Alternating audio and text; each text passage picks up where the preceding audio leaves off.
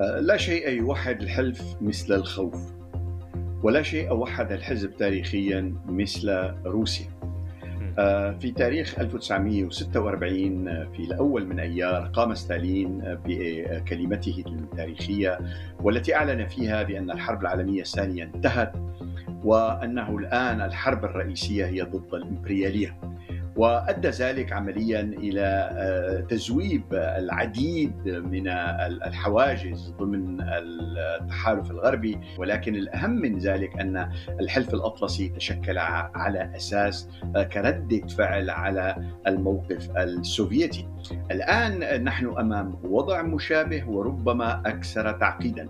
في ظل أزمات عالمية متصاعدة وحرب مستعرة في أوكرانيا وفي غزة تنعقد قمة الناتو في العاصمة الأمريكية واشنطن حيث يجتمع قادة الحلف لمناقشة ما يوصف بالتحديات التاريخية التي تواجه الأمن العالمي بعد 75 عاما على تأسيس الناتو ومع انضمام دول جديدة إلى الحلف كفنلندا والسويد يبحث الناتو تعزيز دفاعاته وآليات الردع وتعزيز التعاون الدولي. لكن تلك التحديات لا تقتصر على العامل الخارجي فحسب. إن الحلف يواجه أيضا تحديات داخلية يرى فيها بعض المراقبين تهديدا محتملا لبقاء الناتو ما هي التحديات الداخلية والخارجية أمام حلف الناتو بعد 75 عاما على تأسيسه؟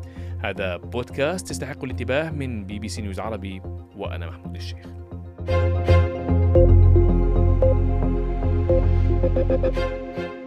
أرحب بضيفي من واشنطن الدكتور سمير التقي الباحث في معهد الشرق الأوسط للدراسات. مرحبا بك دكتور سمير.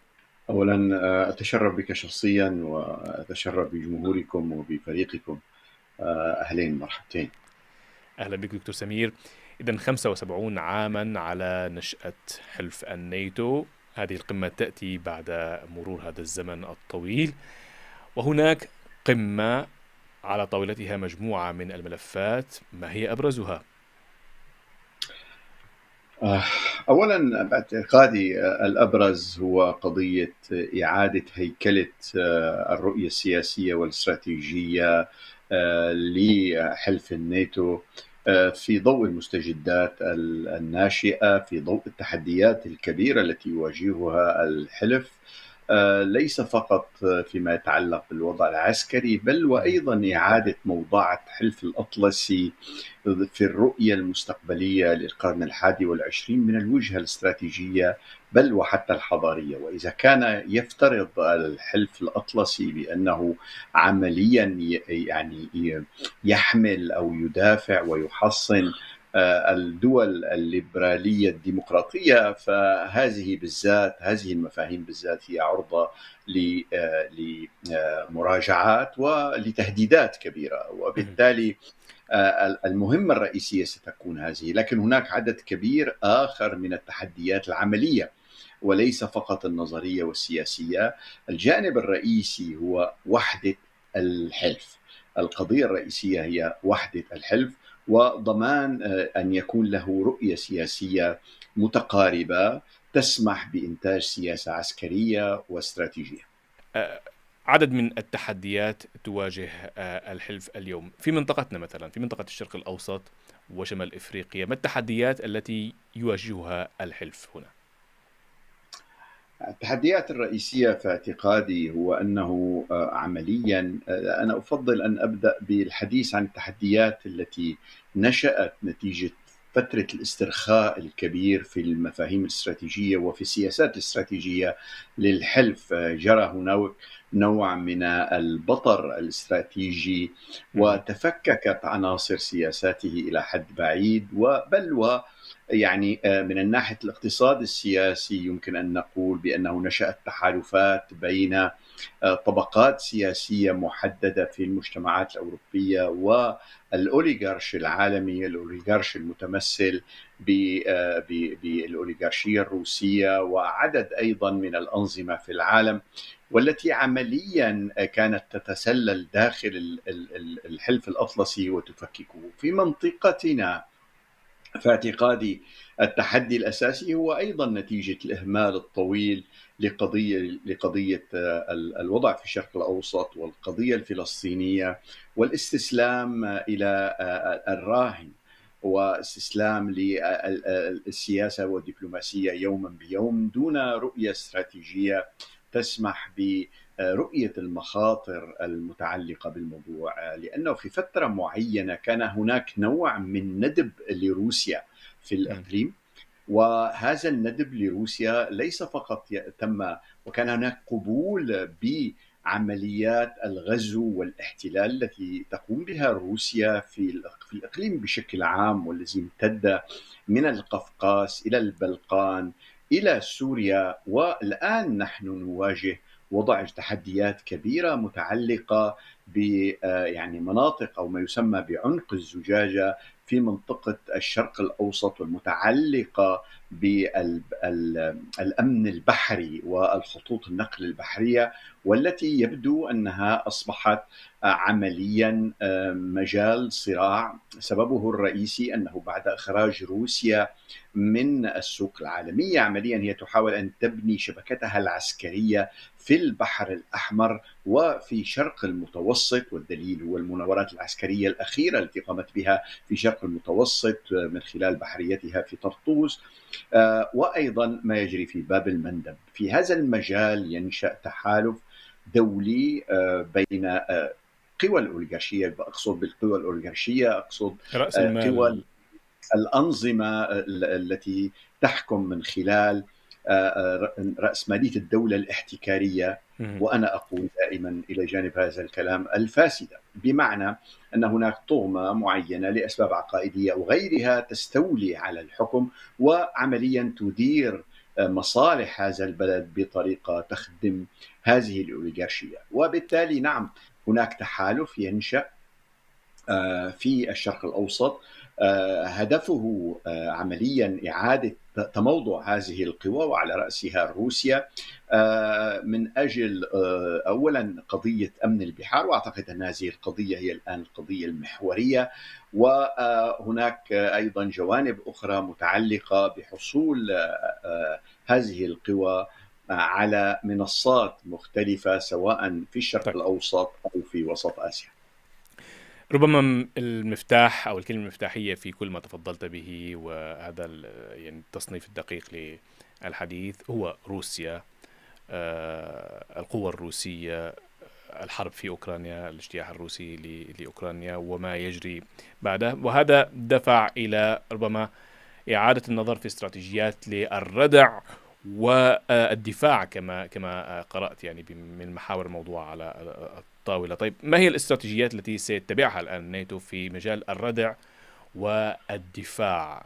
ما الذي سيتغير في عقيدته ربما؟ النقطة الرئيسية هي السعي أولا كما قلت سابقا لإنتاج سياسات موحدة جرى نجاح كبير في هذا المجال ولكنه أيضا يركز الآن الحلف على إنشاء تحالفات ثانويه من صلبه وهذا يتم الآن على سبيل المثال بريطانيا تنشئ تحالفات عسكرية أو تعاون اتفاقيات تعاون عسكري عميقة مع الدول الإسكندنافية. هناك سعي لسد الثغرات الدفاعية الرئيسية لدى الدول بحر البلطيق السوفيتية السابقة إستونيا لاتفيا ليتوانيا. وأيضا دفع لتعاون أكبر مع بولونيا ومع ألمانيا من أجل سد الثغرات في هذا في في هذا السياق الاستراتيجي. لأن من الواضح أن روسيا لا تتطلع إلى أوكرانيا وحدها ولكنها تتطلع إلى سد الثغرات الاستراتيجية التي كانت دوما معبرا نحو روسيا من الناحية الاستراتيجية سواء عبر المعبر الموجود في في جبال بولونيا أو أو المعبر بين بين مولدوفا ورومانيا. وهذان المعبران لزان يشكلان يعني خطة استراتيجية لدى روسيا، لماذا نقول ذلك؟ لأن روسيا في كل ما قامت به سواء في أبخازيا أو في القرم أو ما قامت به في أرمينيا وبين أرمينيا واذربيجان كان الهدف الرئيسي عمليا هو إعادة السيطرة على على منافذ استراتيجية تجد أن من الضروري احتلالها وتوسعها في إطار إعادة إنتاج نوع من الهيمنة التي تشبه الهيمنة القيصرية الروسية. وبالتالي نعم هناك مخاطر والخلاصة الرئيسية التي أريد أن أصل إليها وهي أن من ضمن وتحت خيمة الأطلسي يتم إنتاج تحالفات عملية عسكرية تتولى فيها بعض الدول سد هذه الثغرات. إضافة إلى أن التحدي الكبير الذي أريد التنويه عليه فقط بسرعة وهو التحدي العسكري الصناعي. ربما س... س... س... يعني أدخل أكثر في تفاصيل حول التحدي العسكري الصناعي لكن كل ما تفضلت به دكتور سمير كان يتحدث عن استراتيجيات. آه لنقل يعني خطط مطروحة على الطاوله استراتيجيا. على أرض الميدان على أرض الواقع هناك آه يعني دولة تتعرض الآن ل احتلال من جانب روسيا هي أوكرانيا وتطلب دائما مساندتها من قبل حلف الناتو. تحاول الانضمام إلى حلف الناتو. ما الذي سيقدمه الحلف بعد هذه القمة؟ هل يمكن للحلف فعلا أن يضم أوكرانيا بمثل ما فعل مع فنلندا مثلا ومع السويد؟ ليس بهذه السرعة ولكن بلا شك أنه على جدول الأعمال حلف الأطلسي في لقائه الذي ليس فقط لقاء احتفاليا في واشنطن هو قضية وضع أوكرانيا بشكل يعني غير قابل للارتداد على طريق الدخول إلى الناتو رغم أن لا يوجد إجماع حاليا داخل الناتو حول قيام حول ضم أوكرانيا فورا. السبب في ذلك هو إنه في حال انتساب أوكرانيا ضمن هذه الظروف الحالية فعندها سيتطلب الأمر من الناتو الدخول مباشرة للدفاع وهذا يعني ربما لا ترغب كثير من الدول في الناتو الآن الانخراط به بل الاستمرار في نمط الدعم الراهن المتعلق بأوكرانيا بمعنى دعم أوكرانيا ولكن أن تقاتل هي بجنودها على أراضيها قدر الامر. جسر إلى يمكن وصفوه جسر إلى تحالف أو جسر إلى الحلف نعم. يعني نعم. ولا ما افهم الواقع يعني الوصف يعني يبدو غريبا نوعا ما. كيف جسر إلى الحلف؟ نعم المقصود هو يعني أن يكون هناك طريق واضح غير قابل للارتداد لطمأنة أوكرانيا بالتزام الحزب بأمنها. ولكن بالمقابل إذا دخلت الآن سوف يكون الحلف مضطرا لأن يقوم بنشر قواته. وعندها هذا ما تحاول أن تتجنبه ليس فقط الولايات المتحدة بل وبريطانيا وعدد من الدول عندها سوف تذهب الأمور في اتجاه يعني المجابهة النهائية مع روسيا وهو في الظروف الحالية هناك خشية من قضية يعني ميل القيادة الروسية لاستخدام الأسلحة أسلحة الدمار الشامل. وإن كان على مستوى تكتيكي بالمفهوم التكتيكي الاستراتيجي لا يوجد شيء اسمه يعني أسلحة نووية. أسلحة تكتيكية, تكتيكية. طيب كنت وعدتك إنه نعود إلى مسألة التصنيع العسكري أو استراتيجية التصنيع العسكري لأنك أردت أن تعرج على هذه النقطة بتفصيل أكثر. ما الذي عنيته دكتور سمير بمسألة التصنيع العسكري أو استراتيجية التصنيع العسكري الجديدة؟ في اعتقادي الآن هناك بعض الإشكالات المتعلقة بالصناعة الألمانية والصناعات بشكل عام في دول الاتحاد الأوروبي وهناك جهد الآن في الولايات المتحدة الأمريكية وعدد من دول أوروبا بما فيها ألمانيا من أجل عمليا إعادة هيكلة الاقتصاد في مرحلة اولا تقطيع العولمة وقضية إغلاق بعض الأسواق هنا وهناك ولكن الأهم من ذلك هناك ميل لإعادة هيكلة الصناعة في اتجاه الصناعات الحربية التي أهملت بشكل كامل لأكثر من ثلاثة عقود، هناك إنجازات عسكرية كبيرة ل يعني المخابر العلمية الموجودة في في الاطلسي وفي دول أوروبا الغربية آه، وهذه الإنجازات لا يتم استثمارها وتحويلها إلى منظومات دفاع. يمكن في بعض القضايا حتى أن تنافس التكنولوجيا الأمريكية. وإذا آه، إعادة آه، هيكلة الصناعة الحربية الغربية لكي تصبح قادرة على إنتاج ليس فقط الدبابات وليس فقط الأسلحة الثقيلة وإنما أيضا فيما يتعلق بالتقنيات العالية وفيما يتعلق بأمن ما يسمى بالرقائق بمعنى أن الآن من المعروف أن ثمه تحالف ألماني مع آه، هولندا مع الولايات المتحدة مع اليابان ومع عدد من الدول آه، بما فيها الآن هناك حديث عن سويسرا. يمكن أن تنخرط في هذا التحالف المتعلق بإنتاج ال 2 نانوغرام آه، رقائق 2 نانوغرام. وبالتالي آه، كل هذه المعطيات التي يتم الآن هناك انزياح كامل في أولويات الصناعة وأولويات التوظيف المالي بلا شك أن ذلك سوف يكون له تداعيات اجتماعية يمكن ان, أن ويأخذنا ذلك ربما إلى الحديث دكتور نعم. عن آه، أيضا الحرب السبرانية أو الحرب يعني حرب المعلوماتية لنقل ان صحت نعم. التسمية الأوضح يعني وأيضا هناك استراتيجية لتطوير هذا الجانب لأنه على ما يبدو يشغل بال الحلف نعم آه، آه، القضية الرئيسية هنا هي أن بالأصل هناك آه، العيون الخمسة فايف آيز التي تنخرط فيها بريطانيا مع الولايات المتحدة وعدد من الدول المحددة والتي لعبت دور رئيسي في ضبط إدارة المعلومات في العالم لمنع عمليات الاختراق التي قامت بها الدول يعني ال ال ال التي على خصومة أو على تنافس مع حلف الأطلسي. مثل الصين أو الصين روسيا. روسيا أو إيران. وهذا ساعد إلى حد ما ولكن الآن القضية الرئيسية هي الآن إعادة هيكلة الدرع السبراني لحلف الأطلسي بحيث يكون أكثر مناعة وأكثر تكاملا بحيث أن عمليات قيادة المعارك وقيادة التحركات العسكرية تكون مأمونة وهناك تقاطع فيما بينها ومرنة. طيب جميل. هذا أهم أهم المهمات لحلف الأطلسي هذه القمة تنعقد آه، مع رئيس جديد لهذا الحلف مارك روتي آه، الذي أخذ يعني من ستولتنبرغ. نود أن نعرف ما الذي يمكن أن يحمله آه، الأمين العام الجديد لحلف آه، الأطلسي. بلا شك أنه سيكون أمامه تحديات منقطعة النظير.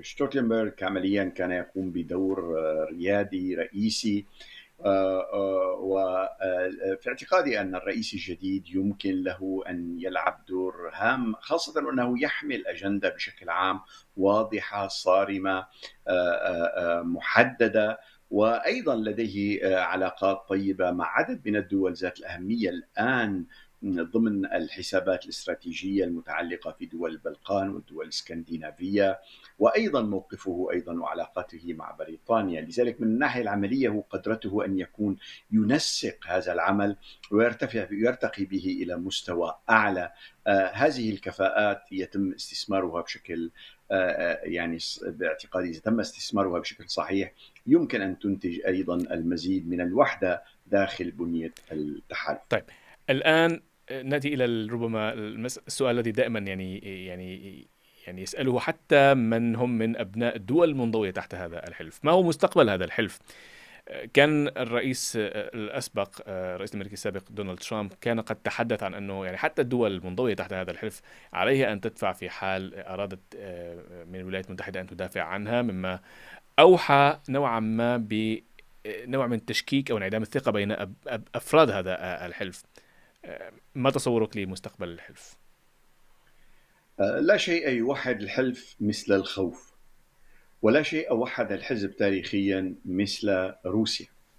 آه، في تاريخ 1946 آه، في الأول من أيار قام ستالين بكلمته التاريخية والتي أعلن فيها بأن الحرب العالمية الثانية انتهت وأنه الآن الحرب الرئيسية هي ضد الإمبريالية.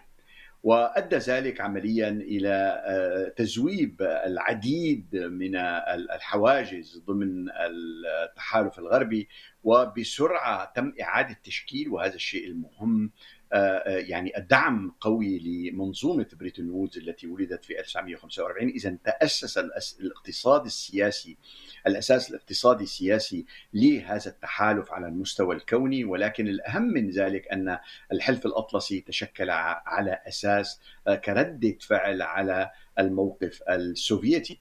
الآن نحن أمام وضع مشابه وربما أكثر تعقيدا. اولا هناك ظرف جديد متعلق بالوضع في أوكرانيا ومحاولة روسيا أن تعيد إنتاج توافقات تفرضها على أوروبا على نمط اتفاقيات يالطا. وأيضا هناك قضية التنافس الاستراتيجي.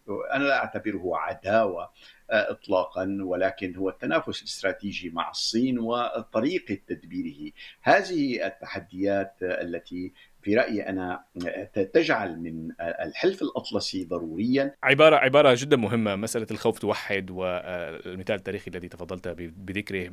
لكن نحن أيضا أمام يعني ربما لحظة مستقبلية. الولايات المتحدة مثلا على أعتاب انتخابات ربما قد تأتي بترامب نفسه الذي كان يتحدث عن أنه هؤلاء بالنهاية هناك مصلحة عملية بزنس مال. تريد أن أحميك ادفع لي. أنا بالنهاية قادر أن أحمي نفسي كولايات متحدة. هل تتصور أن يعني تتغير هذه السياسة بوصول ترامب مثلا إلى الرئاسة؟ هل هناك خوف على مستقبل الحلف من وصوله؟ فعلا؟ يعني اولا هذه المرة إذا جاء إلى السلطة ولا يزال هناك جدل حتى حول بايدن الجدل حول ترامب بالذات. ولكن في اعتقادي حتى لو وصل فهناك نوع من الاستعداد. اولا أن أوروبا أدركت متأخرة طبعا أهمية أن تحتفظ بقدراتها العسكرية. وأن تعيد إنتاج منظومتها الدفاعية بشكل مستقل أيضا يمكن أن يدمج طبعا في إطار حلف الأطلسي ولكن هي الآن تدرك أن الخطر الماثل أمامها ويهددها اولا وبالتالي سنشهد عملية انعطاف كما قلت ليس فقط على مستوى الصناعات بل على مستوى الأولويات الاستراتيجية سواء فيما يتعلق بالشرق الأوسط سواء فيما يتعلق بأفريقيا التي ستصبح قريبا يعني ساحة للتنافس الاستراتيجي وأيضا فيما يتعلق بتوسع الصين وروسيا هناك. نعم تقصد. نعم نعم. وإيران وإيران. وإيران أيضا. آه نعم. كل كل هذه الساحات التي أهملتها أوروبا على اعتقاد بأن كل الناس أن العلاقات الاقتصادية يمكن أن تكون ضمان لعدم حصول الحروب والنزاعات وهو يعني خطأ سبق أن ارتكبته أوروبا قبل الحرب العالمية الأولى. ولذلك الآن هناك وعي أكبر هناك ترند هناك ميل رئيسي في أوروبا ليس للاستجابة مع عملية الابتزاز التي قام بها ترامب في مرحلة معينة ولكن أيضا للاستجابة لمصالحها الرئيسية. شكرا للدكتور سمير التقي الباحث في معهد الشرق الأوسط في واشنطن للدراسات. تحية لك دكتور سمير. أهلا وسهلا. شكرا لكم أصدقائي. استمعوا إلى بودكاست يستحق الانتباه على جميع منصات البودكاست المفضلة لكم وعلى موقعنا bbcarabic.com وعلى قناة BBC News عربي على يوتيوب. نسعد بآرائكم واقتراحاتكم. شاركوا حلقاتنا هذه مع من تحبون. علقوا عليها ولا تنسوا الإعجاب بها والاشتراك في قنواتنا. وأخبروا أصدقائكم أن هذا البودكاست يستحق الانتباه. أعدت هذه الحلقة ميس باقي. في التنفيذ فيونا فيرمانر وفي إدارة التحرير كريمة كواح وكنت معكم مقدما محمود الشيخ. إلى اللقاء.